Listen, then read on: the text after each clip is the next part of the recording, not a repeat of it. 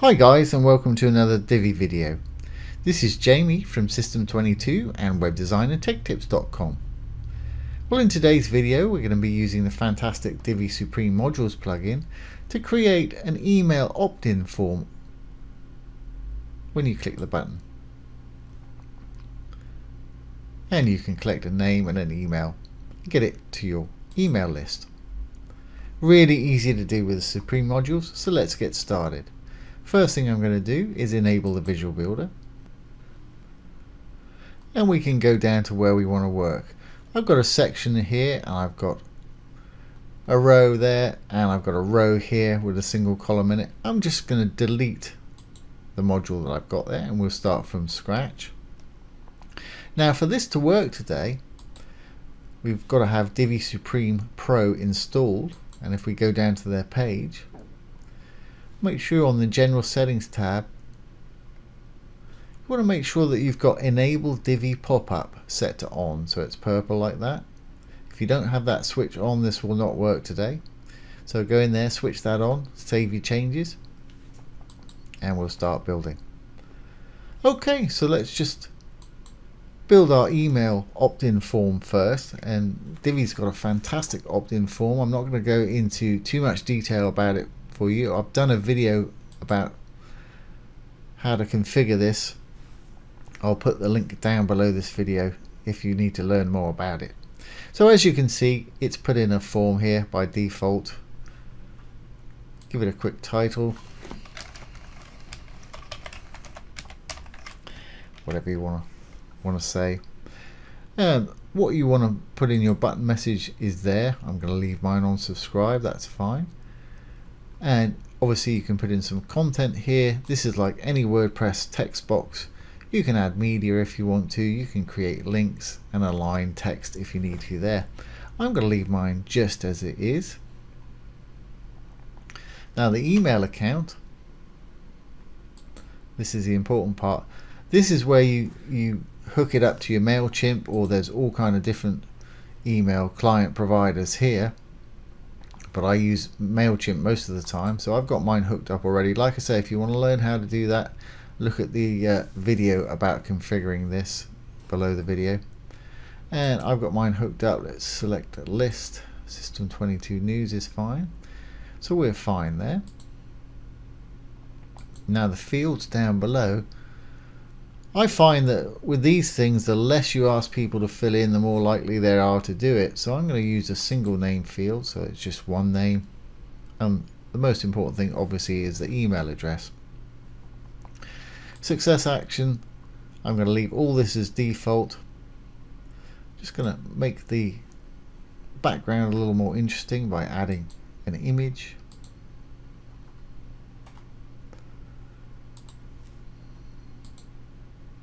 And I'll blend it with the background. If you roll down when you put your image in there you see blend modes down here. Just going to multiply. Great. And the only thing else I'm going to change is the button. The reason that's purple is because I've got my custom button set up that way. We can change it by going to the design down to button custom styles. Let's just change it to blue text is fine. Blue is fine. And a border border color blue. When they hover over the button let's make it go a little bit darker. And this is common with all Divi modules. If you hover over a dark legend here and you see a little arrow you can click on it. It'll give you a non-hover state or desktop and a hover state which is when a mouse is on it. And you can have two different settings for each. I'm just going to pull the color down on that that's fine and I'll leave that just like that. Okay so I'm going to call that form done. Let's just save our form. Now I want to save it to my Divi library so we can make it pop up in a moment. So I'm going to go to this little icon here just to the left of the trash. Left click on it. I'll call it email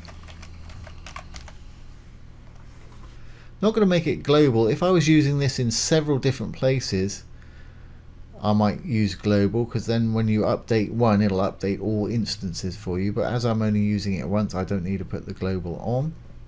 So let's save that to the library. Great. So now we've saved it to our library, we can trash it. Hit the trash icon. And let's create the button that's going to trigger it. So again, I'm going to hit left click on the little dark circle there. I'm going to add a button.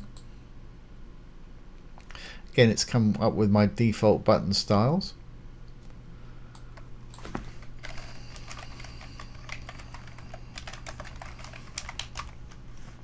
Put in your chosen text there, obviously. Don't need to link this button to anything because we're going to use it as a pop-up and I'll show you that in a minute. Let's go to our design. Let's move this over a little bit. I want the button to be in the middle of the column.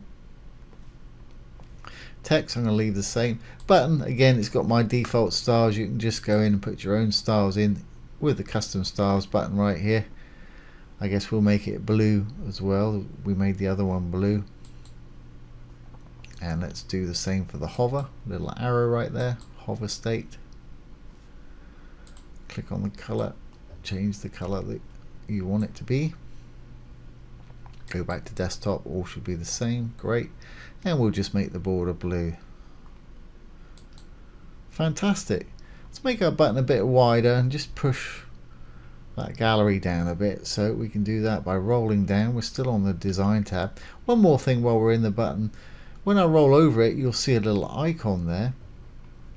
If you don't want to have that there, you can just turn that to off. If you do want it, you can go down and select whatever icon you want. Let's put a an envelope or envelope in there. That's fine. If you want it to be all the time, you can go down a bit further and flip that to off and that icon will be there all the time. So we're good with that. Let's go down to spacing. I'm going to make the button a bit wider. I'm going to put 100 pixels. Just put in 100, it'll put in the pixels for you. Hit the chain, it'll do the other side. As you can see, that's made it wider. And I want to push that gallery down a little bit. So let's put a margin on the bottom of say 100 also. Fantastic. Okay, so how's this button going to know to pop up our email subscribe form or our opt-in form? Well, presuming we're done with all the design of the button there, let's go over to our advanced tab and we'll go down to visibility. And if we go down, you're going to see this little switch that says use pop-up. Now, had we not enabled this in our Divi Supreme Pro, you would not see this switch here. So that's why it's really important to have that option set to on. So let's just say use pop-up yes what do we want to pop up? Well, we want a layout that we've created, so that's fine. You can choose an iframe, an image, or a video also, but layout's fine. Where is it? It's in our Divi library, so let's select it from our library. Now, we're not going to see it here right now, and the reason is because we've saved it and we haven't refreshed the page. So this is looking at the, the old library. So let's just save this, save the page changes and refresh the page. Once loaded we can go back into our module, little cog, go back to advanced, to visibility. That's already clicked from where we left it. Now let's see if we can find our layout in the library. We should see it now that we've refreshed the page. And it was called email. There it is on the bottom. Great. Now, we want to trigger it on a module click well this is our module it's a button so you can either use module click or you've got the option to do it on button click and both of those would work in this case as our module is a button. So let's leave it on module click. We'll leave close pop-up trigger. If they click outside the pop-up it'll close. Don't want to use auto close. If you put that to on you can set a time limit of 10 seconds. It'll close after 10 seconds or whatever time you put in there. You can decide how you want it to show up. Let's say swing in and you can decide how you want it to disappear fade out right big there's plenty to choose from there when it pops up I want it to be in the center yeah I want it to be absolute. In other words, if they scroll the site up and down, it's going to stay exactly where it is. Don't want to use full width. it's, it's going to come up of their default 680 and that's plenty I find for me if you want to use full width by all means do and put that on and you can change the default width that you use right there but 680 seems to work for most things for me. Show overlay yep. That means when it pops up the background will darken out. You can choose the background color there but I find that default works great. Show a close button yep. We can show a little X that'll close it also and that'll be on the inside unless you choose to put it elsewhere and you can also choose the icon font size if you want to make it bigger or smaller. The default is the X here, which is the usual for a shutdown option. And again, you can choose your colors down below here. Don't need any transitions, positions or scroll effects, so I think we're good. What we'll do is we'll hit the save button. We'll save our page changes exit the visual builder. And let's see what we've got. Now when I click on the button our email opt-in form should pop up. And there it is. And as you can see it's got the lightbox effect with that overlay in the background which darkens out the background. If I scroll the background up and down it'll stay where it is. If I just click anywhere off of it it'll disappear. And that's a great little feature to have on your site there so I hope you've enjoyed that and found it useful. If you have, please ring the bell, give it a thumbs up, comment, share and subscribe to our YouTube channel. Once again, this has been Jamie with System22 and WebDesignAndTechTips.com. Thanks for watching. Have a great day.